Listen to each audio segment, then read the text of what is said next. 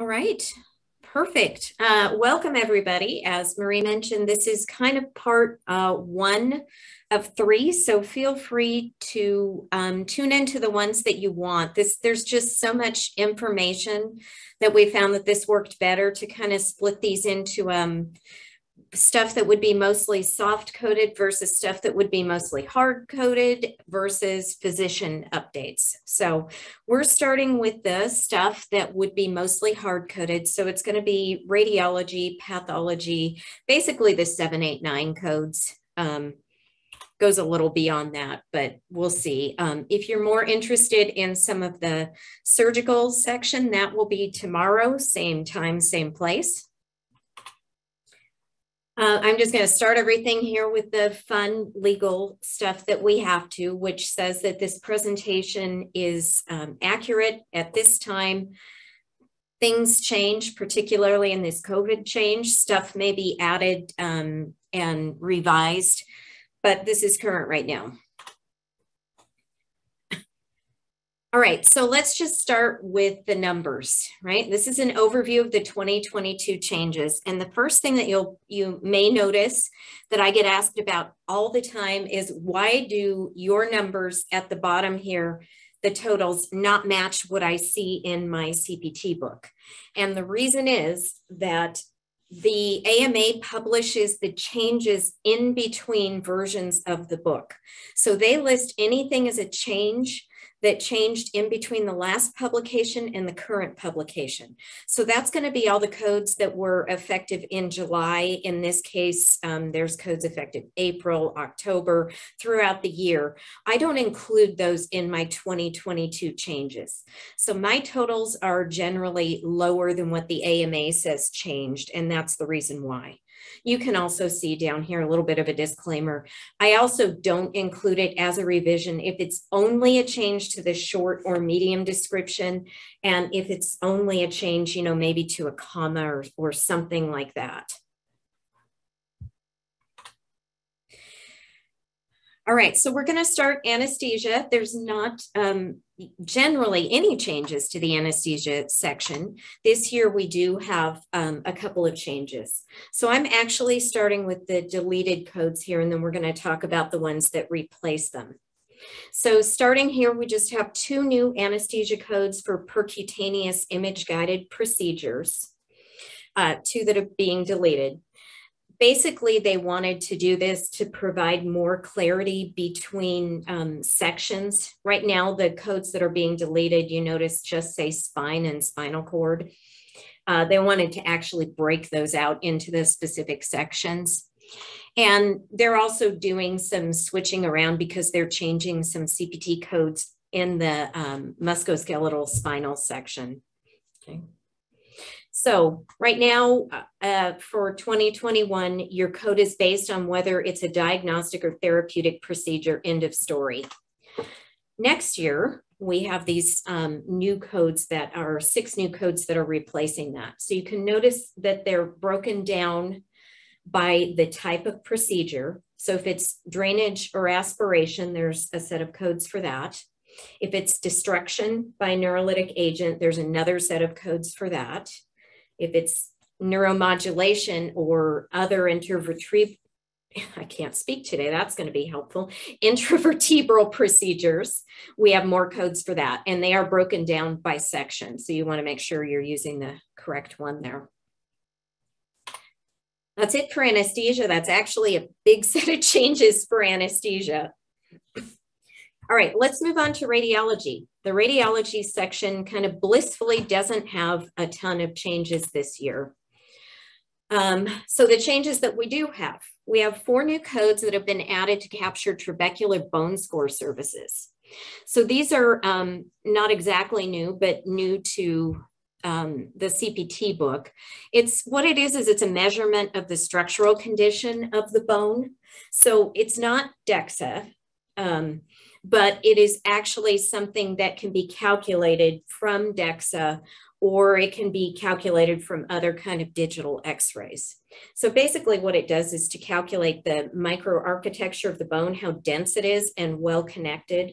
It's just another um, measure to know what a person's fracture risk is, um, that kind of stuff. So these are broken out into 77089 is full procedure.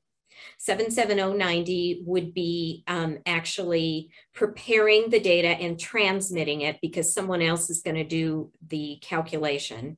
77091 is that calculation, and 77092 would be the um, healthcare professional actually providing the report on what the results were.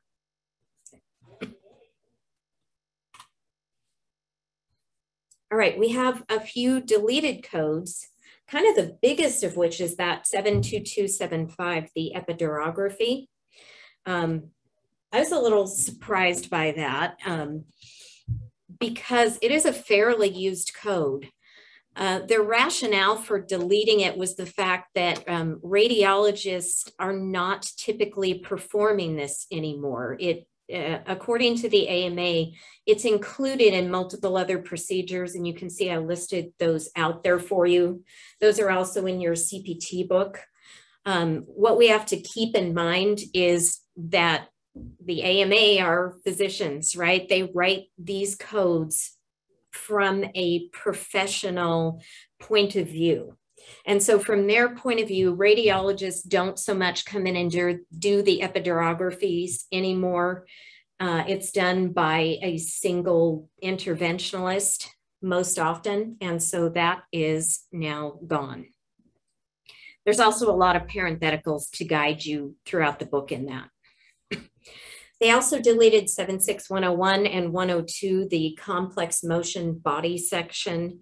Um, again, according to the AMA, these just aren't done anymore. So um, no need to replace them or comment too much on them.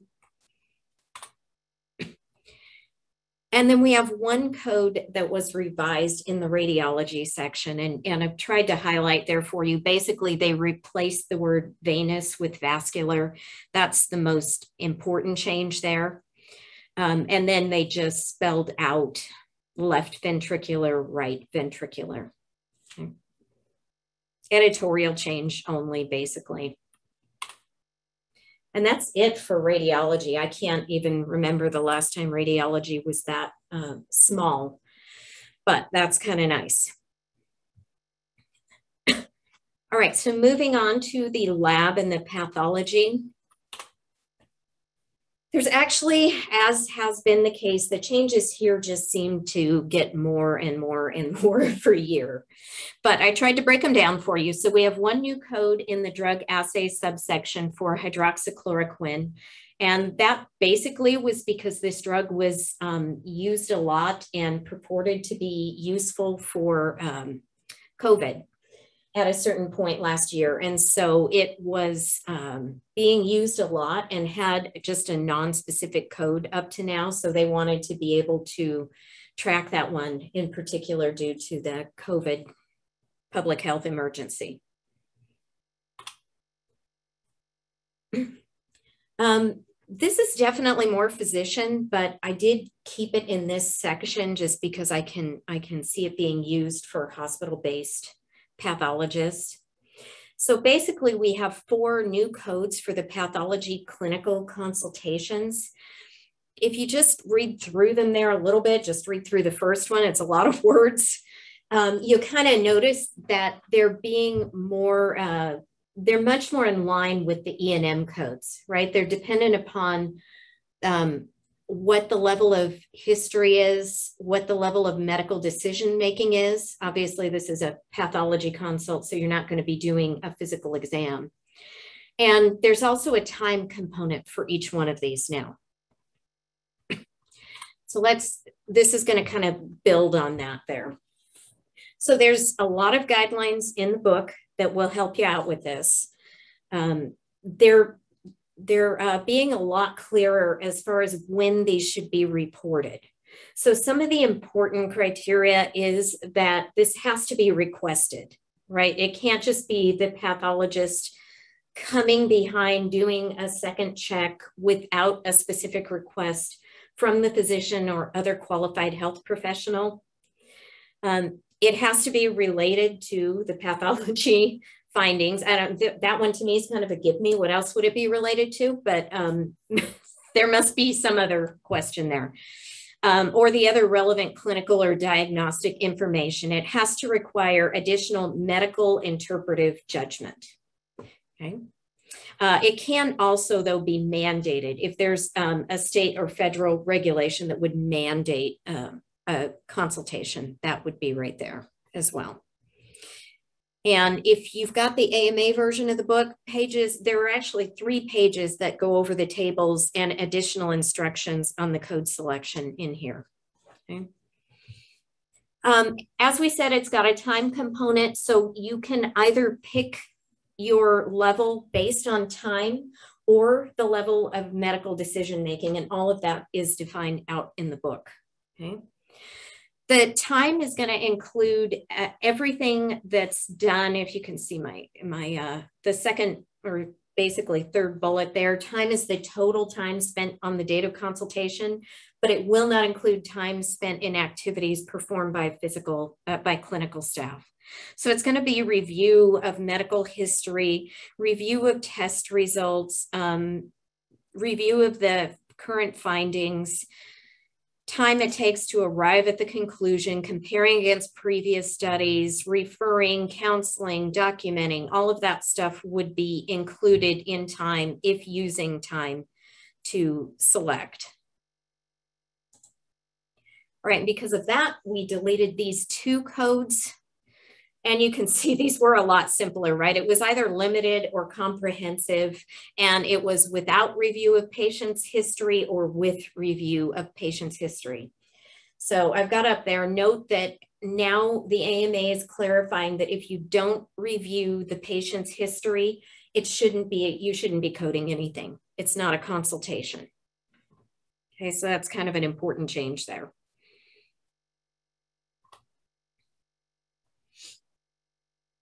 All right, molecular pathology. We have a new code for cytogenomic analysis using low pass sequencing analysis. And I just kind of put, because that didn't mean anything to me initially. So that's basically just a high throughput um, technology that um, it uses publicly available uh, genome research to kind of fill in the gaps. So, I mean, the theory here is let's not keep reinventing the wheel. We've already, you know, mapped out the human genome that can be used to fill in if the data is basically less than perfect.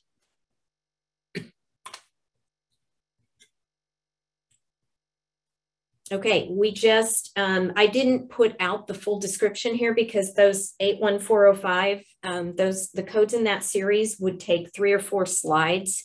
So basically they just removed the, the code, um, the 81349 from 81405 because it now has its own code. Nice and easy. All right, the biggest area where things were added, as is typical at this point for the last several years, has been to the um, assays and the PLA codes, which tend to be specific. So I kind of tried to put, I'm not going to read all of these slides to you, but I tried to help you out a little bit with information um, from the Appendix O. Where I've got this, this is for um, this specific test. So um, if you happen to see that kind of stuff, that's what this is talking about. So 81523 was added. There's a little note there, don't, don't code that with 81521, which is also MammaPrint. It's just a different number of genes that are being um, tested. Uh, we have 81560, which is the Pleximmune for transplantation medicine. It's really pretty amazing what they can do anymore um, to take genetic material and actually predict risks. In this case, they're predicting the risk of rejection. Uh, this one's predicting the risk of distant mets for breast cancer. Okay, we have three new codes that were added to the chemistry subsection. Uh, it's just a quantitative um, elastase, uh, immunoglobulin light chains, and the interleukin 6. Um, I also tried to help out a little bit here because these aren't specific to any particular brand or test. Um, I, I did try to put some notes here as far as how these were currently being coded.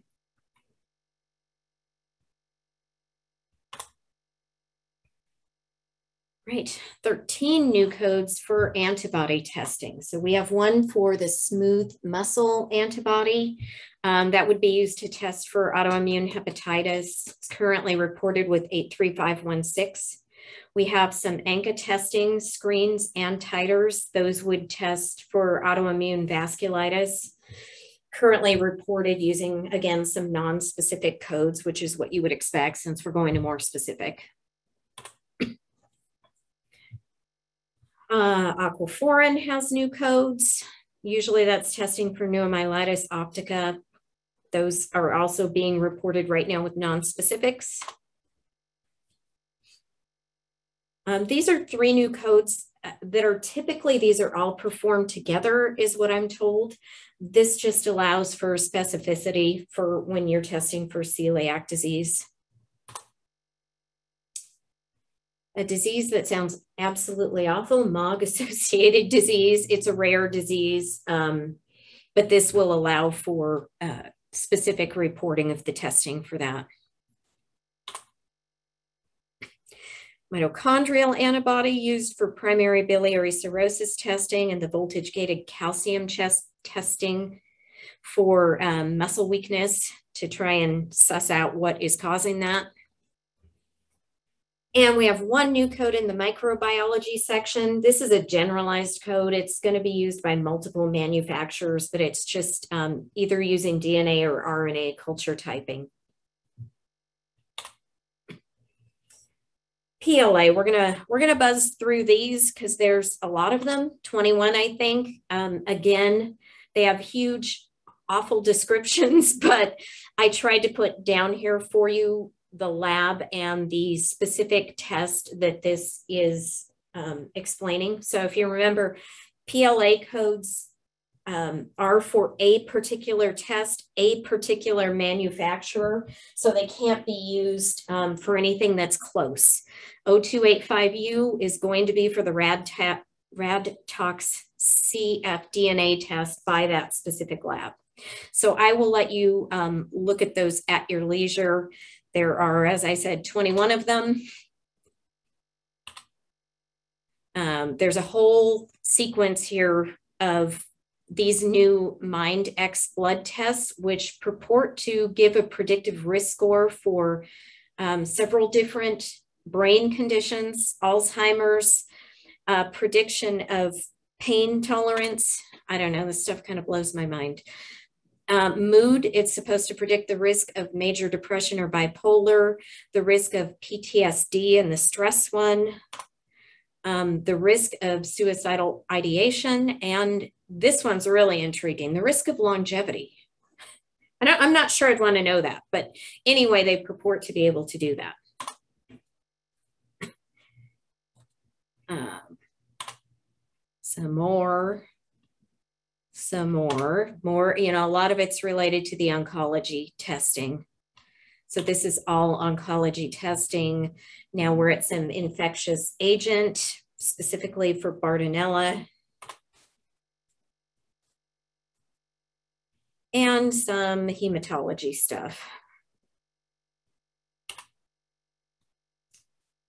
All right. And you will um, get a copy of that. So don't feel like, oh my gosh, she was going too fast. I couldn't write notes. You will get that so that you can access that if you need to. All right, let's talk about the medicine section. Vaccines and toxoids has one new code for a new trivalent hepatitis B vaccine. It's the Sci-B-Vac we have one new code in the gastroenterology section, which is really just replacing a category three code that is going away at the end of the year. Not much is changing there. It's just gotten promoted to um, a category one code.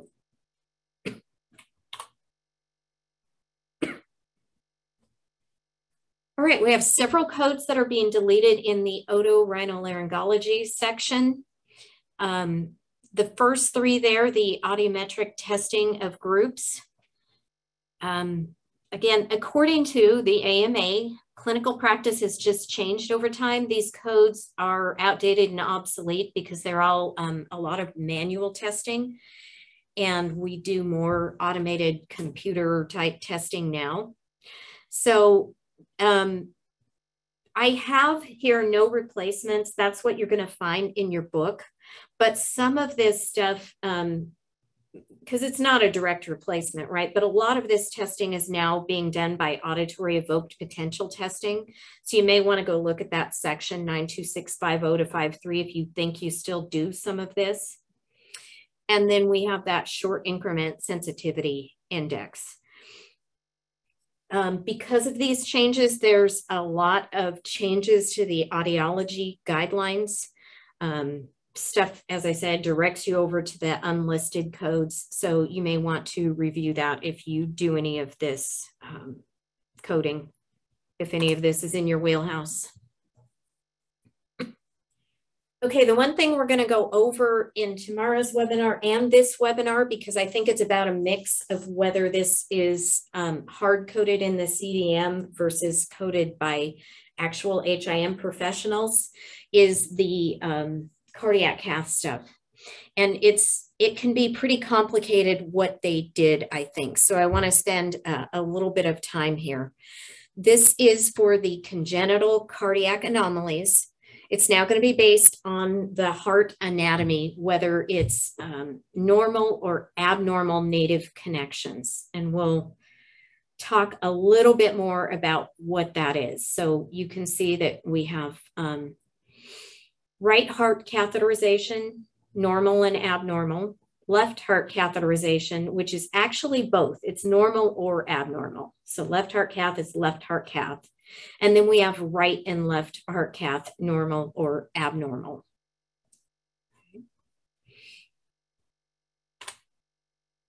All right, so again, to try and help you out here a little bit, and there's, uh, again, a lot more information in your CPT book, but normal native connections would mean that the blood flow goes the way we expect it to go through the chambers of the heart. Okay, so some examples of normal native connections would be an isolated atrial septal defect, a ventricular septal defect, or a PDA. And that's going to be, uh, it's going to use those three codes. You'll notice I've got the same 93595 is on both of these because that's the left heart cath. It doesn't matter whether it's normal or abnormal. Um, the abnormal would mean that there are alternative connections for the blood pathway. So some examples of that would be a, a single ventricle. If you have a single ventricle, you can't um, go the normal way of the blood. Um, if the great arteries are transposed, that would be another example. Tetralogy of Fallot, um, valvular atresia, or an unbalanced AV canal defect. And again, I just, this is this is not everything and and all, but I just wanted to give you some examples. You know, the blood's going to come through here and here. It's the oxygen poor blood. It's coming through the right atrium, goes to the right ventricle. Um, it gets pushed up via the pulmonic valve and out to the lungs. Comes back. That doesn't show this very well. The pulmonary veins comes back, um, goes into the left atrium down the left ventricle and is pushed out through the aorta to everywhere it needs to go. So you can see in this, this would be a, a ventricular septal defect. The blood is still flowing the way we expect the blood to flow. So that's a normal connection. An abnormal connection, um, this is actually tetralogy of Fallot. So the big problem here is this stenotic pulmonary valve. And because this valve is stuck shut, the blood can't go the way it's supposed to go into the pulmonary arteries. And so instead it gets forced into here, into the aorta, which is uh, obviously no good. But that's just um, an example for you of what they mean by normal and abnormal connections.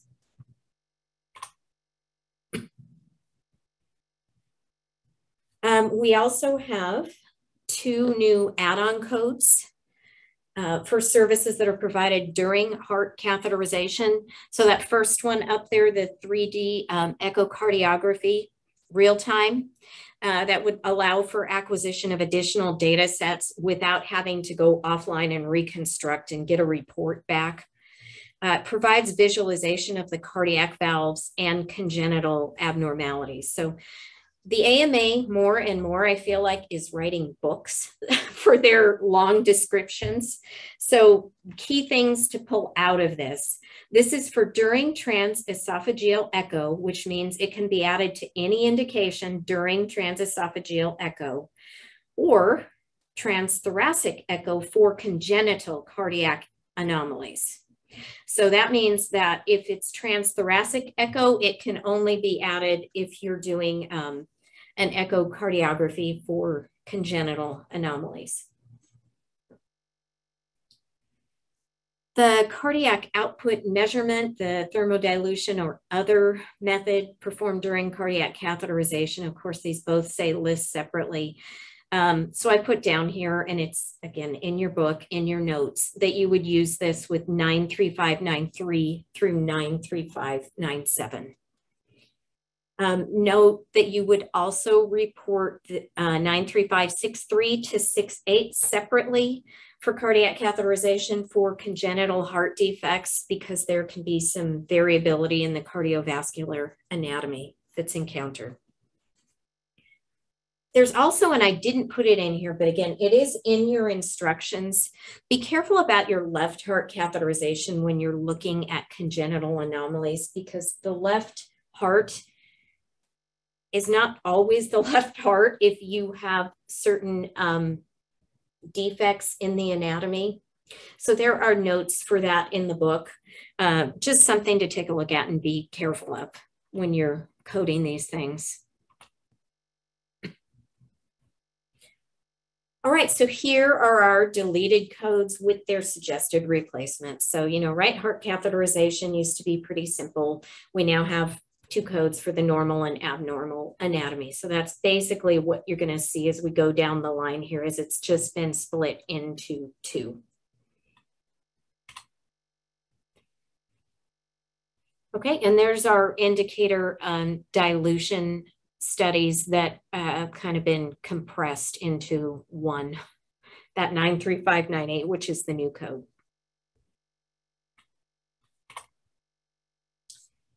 Here's our books. I'm sorry about it's a lot of uh, information there, but basically what they are doing is trying to make it very clear what's included and what's not included with the ablation. So, um, and there's, we're going to talk about that on a couple of the slides left, but basically they want to tell you that the um, EP 3D mapping and the left atrial pacing and recording are bundled into 93653. Um, the intracardiac echo and again the 3D mapping are bundled into 93656. And there's a couple of exclusions um, as far as what you can and can't do. A lot of information, but they're just adding to our little books there, right, to try and make it very clear. Um, a theme I think I've heard over the last several years is they want to add as much as possible into the description because people don't always use the notes that are available. And so if they can put as much as possible in here to tell you what this includes, you're less likely to try and add codes for things that are already included in this overarching code. All right, so I, I've got a few things in red font there, and those are the changes right? So they added 93653 to what included the mapping and the pacing. 93654 already told you it included the, the mapping and the pacing.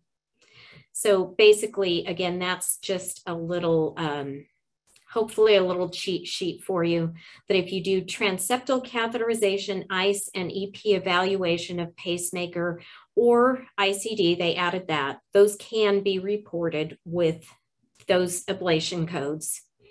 93656 includes the mapping, the um, intracardiac echo, and the transeptal. And they have a nice little table in the book that's available to you that kind of tells you what you could do, what's bundled, what would never be done with any of these, just again to kind of help you out there.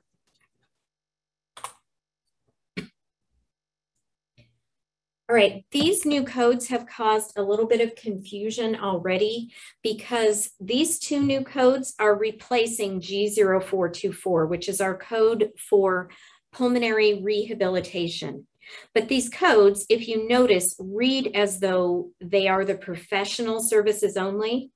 And we said a few slides back that we have to keep in mind that the AMA writes this for physicians, by physicians. Um, I I think it's a little bit unfortunate wording the way they chose to do this, but this is your pulmonary rehab code selection for next year. So there is without pulse ox and with pulse ox. The AMA is not expecting to see this billed without pulse ox very often, but because it includes the pulse oximetry, don't try and also report pulse oximetry with this. That's going to cause some billing problems. So even though they say physician or other qualified healthcare professional, this is also what you're going to use for your um, facility reporting of pulmonary rehab.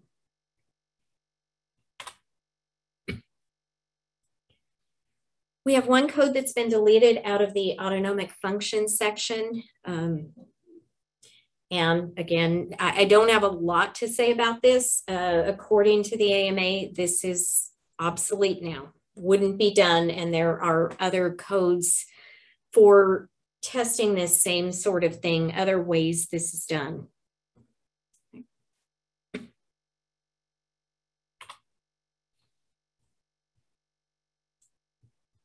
All right, we have five new codes to report remote therapeutic monitoring services. These three are the actual um, Oops, well, that's not good. I just, just found a problem there. That one, that is not a right description for that. These three codes are for the, I'll get that corrected before that goes out. These three codes are for the actual recording and transmission. So these would be the, the technical component basically.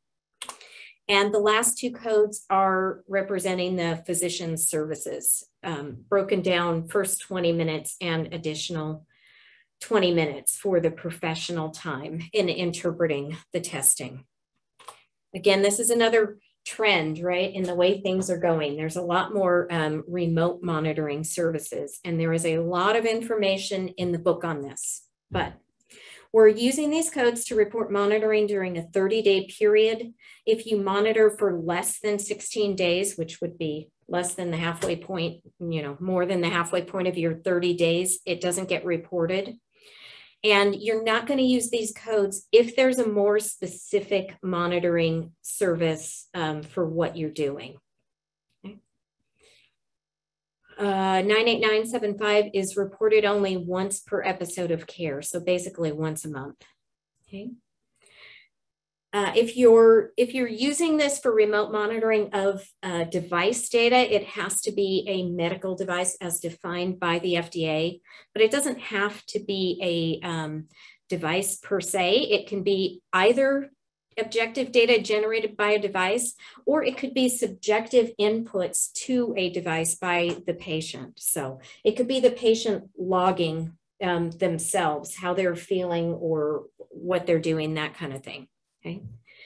Pretty important that the services have to be ordered by a physician or other qualified health professional. And I don't believe it's a requirement, but it's probably pretty good practice to let the patient know that they will have a charge for this. Because I, I can imagine if it was me, sometimes I would think that I'm just providing helpful information to my physician and not understanding that he's actually going to generate maybe a separate charge for that.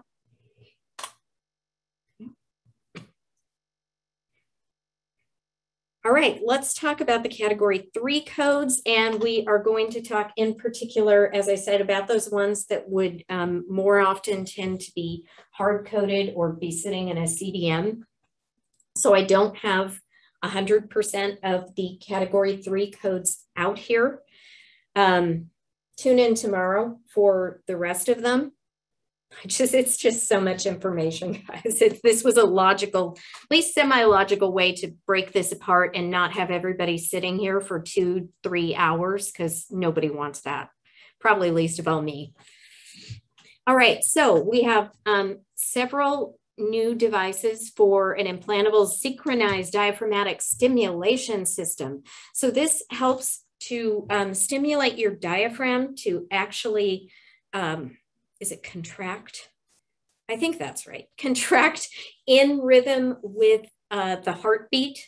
So basically, what it does is push up, make uh, or actually come down so that when the heart is pumping, there's more room to do that. And it actually can help with uh, congestive heart failure. It's pretty amazing stuff.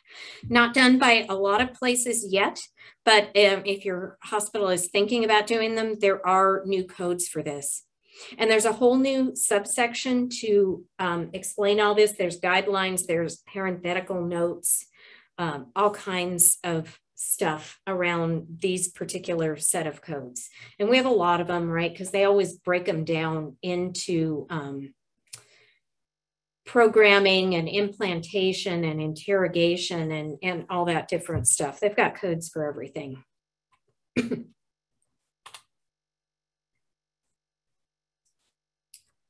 Okay, treatment of amblyopia. Again, we're in the remote stuff, right? Online digital program stuff. So one code for the educational setup initial session, and then another code for uh, reporting per calendar month of the assessment of the program and the report and all that kind of good stuff that goes with things. Okay, the next two codes are quantitative ultrasound tissue characterization. We already have category one codes for if you're doing um, elastography versus via ultrasound.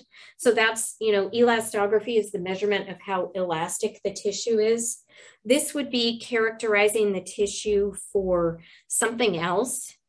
Um, it can be used to look at the, the liver for fat content. It can be used to look at the breast to separate benign from malignant masses. It can be looked uh, at the eye to separate benign from malignant masses. And you'll notice that it um, it's separated out by whether or not you're doing um, a diagnostic ultrasound examination of that same area or if you're just doing the tissue characterization. So one's an add-on code, one is not.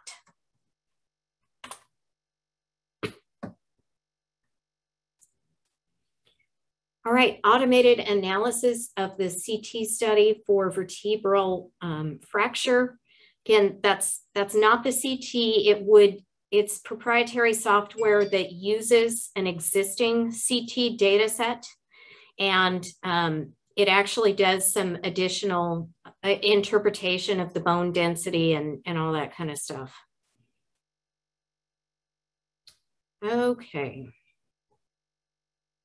Um, let's see, 0692 is not dialysis, but pretty close to dialysis. That's not done uh, in many places either. Um, 0693, the computer-based markerless, which is the key component of this kinetic motion analysis. And then we have 0694 to report the real-time intraoperative 3D imaging of breast or axillary lymph node tissue. So note that that is intraoperative. It's reported one time for each specimen.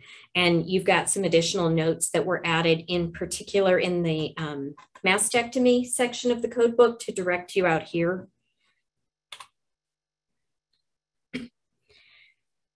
Uh, body surface activation mapping of pacemaker. We have um, a couple of codes in on that.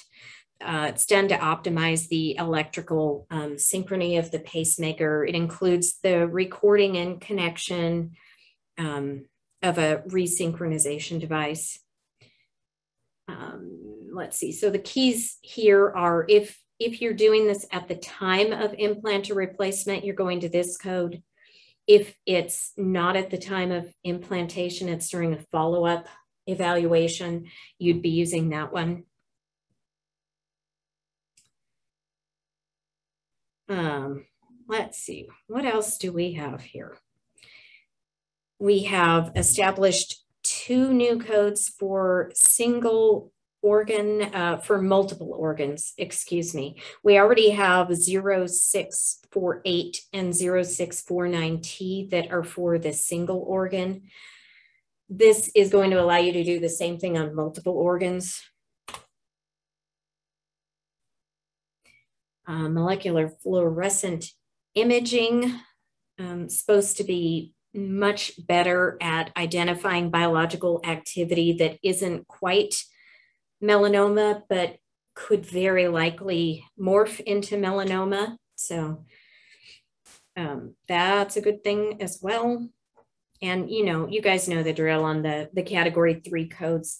This is this is in here because it's new and emerging technology. It's not going to be used at a ton of places yet, but they want to track them. They want to see if it needs to uh, graduate up to a category one code, at which point things tend to be a lot better reimbursed and covered and that kind of thing. All right, some more remote therapeutic monitoring stuff of online digital cognitive behavioral therapy programs. These have just exploded during the um, pandemic too, right? So note that that is uh, odd that they've done this this way, in my opinion. This says per 30 days and this says per calendar month. Um, slightly different, but basically the same. So just keep that in mind.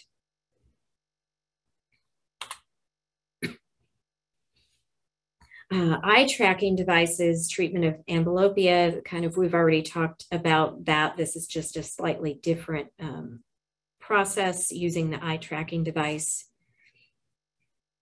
We have some intradermal, uh, oh, did I skip one there? The intradermal cancer um, immunotherapy stuff is um, not subcutaneous injection, it is intradermal, so keep that in mind. Wow, we're, we're on the home stretch here, guys. This is almost the end of, of these codes being added. So we have the non-invasive arterial plaque analysis. Again, this is a, a, proprietary software program. So it's not actually doing the CTA, it is taking the CTA um, data and um, doing some additional assessment on it to actually be able to see what the vessel wall looks like and what the plaque looks like and how stable it is. So several of those codes, depending on what part of that you're doing, if you're doing, you know, full, full report, I'm sorry, full procedure, data preparation, um, actual analysis, or just the interpretation and report. See, I told you we were almost done with that. Okay, deleted codes. Um, we only have one here and there's no direct replacement for it. So I always thought that it was weird that that one was a category three anyway when it was um, a lab test. Yep, I lied. We have more deleted codes. Sorry. Um, we also deleted the programming device evaluation for the mechanical electrical skin interface. Um, I can't say much about that either. Uh, there wasn't a lot of comment as to why that one was deleted.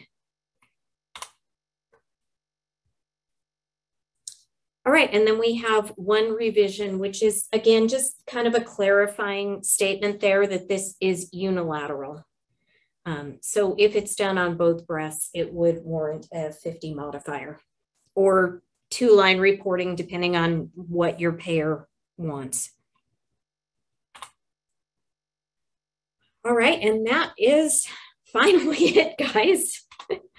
Turn it back over to Marie to see if we have any questions. We do. Um, we have, I think, a few questions in the QA panel. Um, I don't know if it's oh. easier for you to just open that up and uh, read them, Jen, um, if you want to shorten Yeah, we can, let's see, we can do that. 98977. Originally, it was focused on physical therapy. There is additional information that this, well, first of all, let's, I'm not going to guarantee I can answer all of these live because I don't want to give you the wrong answer. So 98977 is the remote therapeutic monitoring device supply with scheduled recording and or programmed alert transmission for the musculoskeletal system. Um, yeah, I'm going to have to get back to you on that one. I know there was some more information um, presented at the symposium as far as what what type of devices, what you would be doing for that um, musculoskeletal monitoring. Um, I don't know if we said, but we will make sure that all of these gets get answered in, you know, like a Word document and it will go out to everybody. So we'll make sure that um, that I get an answer for you once I can do a little more research on that. All right, for the new pulmonary rehab codes, we do monitor the pulse ox how does it need to be documented? A continuous waveform or the value for each piece of equipment? Now, we did not hear that it had to be that specific as the second one, just um, that they wanted um, documented that you did use pulse oximetry throughout. And like I said, I thought it was interesting that they that they created two codes, but they said we almost never expect this to be done without pulse oximetry. So I would say, however you are documenting your, if a patient just comes in and needs prolonged pulse oximetry monitoring, however you're documenting that, that should be fine for this. Um, what areas could and would use 98975 to 77 for the remote therapeutic monitoring? And let's see, 75 is the respiratory, and seven six is the respiratory, and seven seven is the musculoskeletal. And um, again, uh, it has to be, or most of the time, it's going to be device data. So I am not 100% sure how this would be used because the way that this was explained to me, how this would be used would be primarily by the physicians, right? They want my I don't know, Fitbit data or something, just to see what my heart rate has been doing, that kind of stuff. Um, but I can definitely see a hospital um, clinic type thing doing actually, you know, helping with this and providing this service to get the monitoring done. So I'm, I will do, since it looks like most of these questions are on the, whoops, oh, you need to see that, huh? Um, most of these questions are on the um, remote monitoring. I will make sure that we uh, that I go ahead and do some additional uh, research on that. Okay, and then 0692T, the therapeutic ultrafiltration. If this is only to be used, they will do filtration, a different code off days for our dialysis patients. I will go ahead and get some more information on that one as well. I'm doing great with answering questions, right? Would respiratory therapy be able to use these codes? I'm not, I, uh, I'm not sure. Are we talking about the pulmonary rehab codes? I'm not sure which codes we're talking about there. Maybe if you can put something else in there uh, contradicting info for the re remote therapeutic monitoring on who would provide these codes and if they are specific. Um, we have OT that's interested in this service. What types of devices? What if the provider doesn't provide the device? Okay, looks like we want lots more information on the remote therapeutic monitoring codes. And they did give lots and lots of um, information and guidelines, but there's nothing quite as good as, you know, like specific devices that would be used. So let me see um, what else I can find on that to help you guys out with that sort of thing. We'll make sure that we um, write a book in the Q&A for that. Uh, 93653. Oh, the respiratory for the remote therapeutic monitoring. Yeah, I don't, it, it, none of these codes or not very often are any of these codes restricted to certain things. If you're performing the services for that code, you could use it. But we'll make sure to get more information on those. 93653 and 54. You'd think I would have these memorized. Let's just go through the, let me do this. Sorry, guys. I'm not trying to make you too dizzy.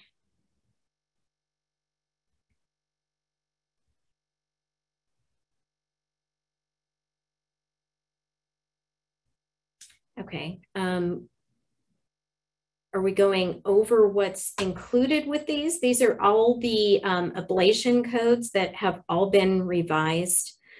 You know, the change from including to with, I don't think is a big deal, but you can see here that they are now including the right atrial pacing, which always was, catheter ablation of arrhythmogenic focus, including the 3D mapping, and also including the left atrial pacing and recording from the coronary sinus or the left atrium. And notice that they've got when performed. So that doesn't mean that it has to be performed to use the code. But if it is performed, it's included in those procedures.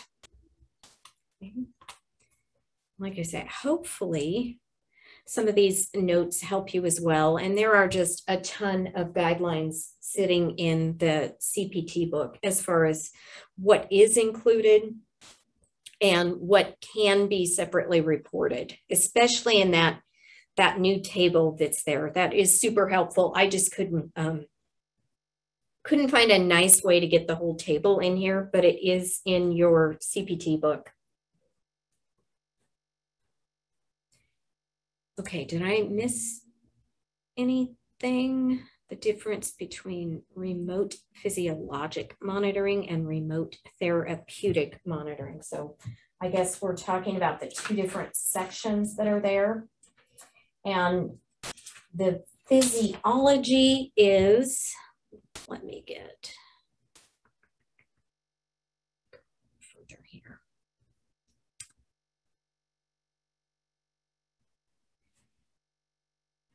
Okay, so the therapeutic monitoring, and, and I'm not making this up, this is what, um, what is in the book as far as the remote therapeutic monitoring system, which includes the musculoskeletal system, the respiratory system. It could be monitoring for therapy adherence or therapy response. That represents the review and monitoring of the data related to signs, symptoms of a therapeutic response. So again, it can be the objective device generated data, you know, what my heart rate says from a device that's sitting on my wrist, or it could be inputs um, that I'm making as a patient to say, you know, it's it's 10, 11, and I feel like my heart is racing right now. Um, it's those are reflective of therapeutic responses that provide um, a representation of a patient status. It seems like there was some good information as far as what the physiologic monitoring was. Let me get over to that real quick. Wow, there are, there is, um, no joke, there is two and a half pages in the book on all of these different things and what can be reported and what they would, you know, what the different things are, what time you can count, that sort of thing.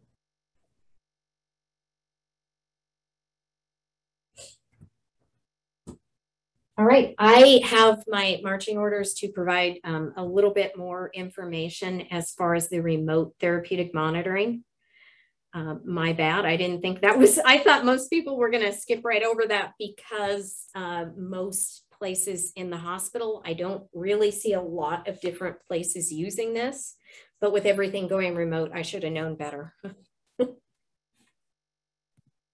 Awesome. Um, looks like that's the end of the questions then. So, like Jen said, she'll get those answered and we'll get those out to everybody. And by end of day, day today, we will also send out the CEUs and the link to the recording and slide deck. We'll make that one change and get that posted shortly. Um, and I think that's all. Thank you for joining us. And I'm sure we'll see some of you tomorrow as well. And have a great day, everyone. Great. Thank you. Thank you.